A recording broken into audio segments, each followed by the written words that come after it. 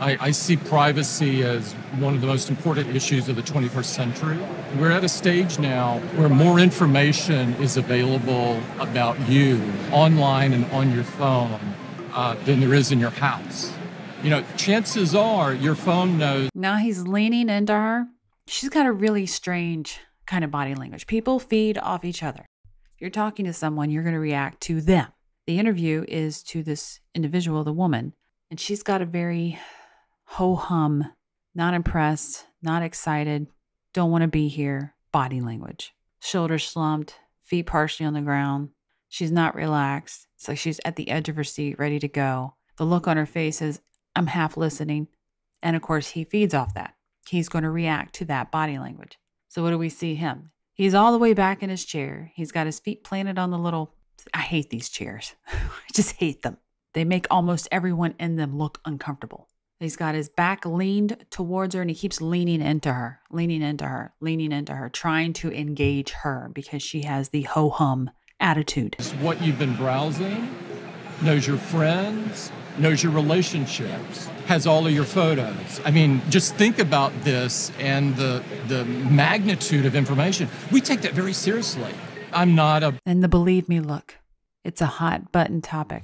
Me go back and look at that. Knows your relationships, has all of your photos. I mean, just think about this and the the magnitude of information. Talking points, believe me look. But he is singing with himself. His body does sing with him. This goes into the ho hum attitude that he's getting from her. So he's trying to make it bigger, trying to encourage her to come into the conversation. Magnitude of information. We take that very seriously. I'm not a pro regulation kind of person. I believe in the free market deeply. When the free market doesn't produce a result that's great for society, you have to ask yourself. I like how he does it. Government regulation. It's like, oh, yeah, I forgot. See that. And he goes to the right. It's not good for society. And he's over to the right side. That's not good for society. What do we need to do? And, and, and I, I think some level of government regulation is important. He submits on that one. So when he goes into the talking point of government regulation, on the words government regulation, he goes down, the submitting, submitting to it. It's like me looking at him and seeing that, especially with the talking points, that submission with it. He has succumbed to the knowledge, whatever it is, we don't know exactly. I'm sure we can fathom and um, theorize what it is from the news that they know government regulation is coming. They're not happy about it. That's why you see the submission. It's not an up excitement of, yeah, government regulation. No, no, it's submission like, yeah, it's coming. You've testified before Congress. How would you rate their literacy in terms of tech and privacy? I think it's a challenge. I think there is a need to work with Congress and the staff to make sure that we do our jobs of I wanted to see if he went to the right with that as well, but he just stayed in the center. Helping them kind of come up to speed on on on what's possible. Technology itself doesn't want to be good. It doesn't want to be bad. It doesn't want anything. It's up to the creator. I'm exceedingly optimistic.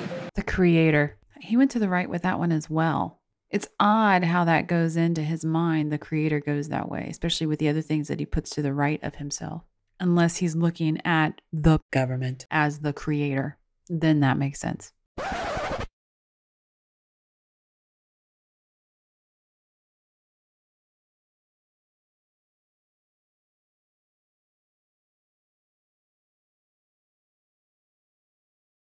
that this subject is now in the vocabulary and uh, getting discussed. And now we, have got to all figure out a way to take it to the next level and, and change some things.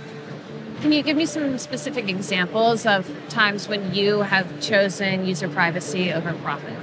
Well, that would be a very long list, to be honest with you. I mean, uh, we're. You can list it. The way we go into product design, we challenge ourselves to collect as little as possible. And when we collect, we challenge ourselves to make it not identifiable. And we don't do things like we don't read your email, right? We don't read your messages. You are not our product. Uh, we're not forming the detailed profile and then uh, allowing uh, other companies to. You know, when he says that, he was, his body sang with him. He was very open with that. We don't read your messages. Now, the crux of that is when you look at language, and since we're dealing with technology, we have to just assume that when he's speaking, he's speaking on the human mind, does not read your messages because AI or algorithms or whatever can read your messages and collect your data. That's not a human mind. All they're doing is programming. Companies to buy the opportunity to, to target you. That, it's not the business that we're in. And that is where we see some deception.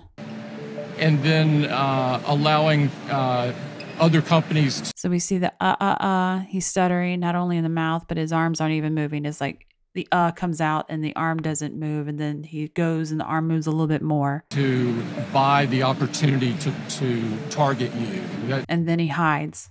Target you, and his hands go down. Then he crunches up and gets real stiff. Target you. And then the eyes come in squinty like. Target you. That's deception. He's gone stiff. He's hiding. It's not the business that we're in. You don't use these massive data sets to improve Apple services. Are you going to be left behind by your competitors? Are your principles around privacy going to doom Siri to be worse than Alexa? No.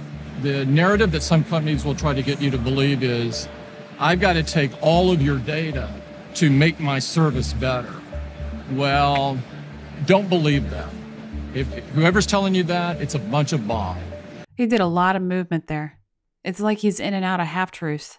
And we could speculate on what it is, but he's literally in and out of half truths. Hey, software secretary, after I upload this, what's next on my to do list? About that, I would prefer you did not upload this video. If you liked it, leave a like. If you like the content, please subscribe using this link via specific feeds. You'll be sent notifications to the full length videos and ones that can't make it to YouTube, and you won't mysteriously be unsubscribed either. There is now a video course available on her website for gold subscribers, where Mandy teaches more about her techniques of deception detection. There's also other content such as the Crime series and Interesting Mind series and monthly podcasts available to both gold and silver subscribers. If you like it, please share and subscribe. Thanks for watching.